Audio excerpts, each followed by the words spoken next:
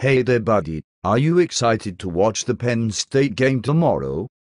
Yeah, I can't wait to watch it on TV in HD. Why are you watching it on TV? Why don't you see it in person? I don't have tickets, mister. I bet I could get you tickets. Why, you could even come with me. It just so happens I have an extra. Gee, mister, that's awful kind of you. Let me ask my mom. Good idea. We can go back to my place and phone your mum.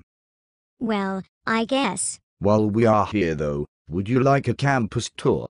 You know, I used to coach here. In fact, I can even take you to the locker room.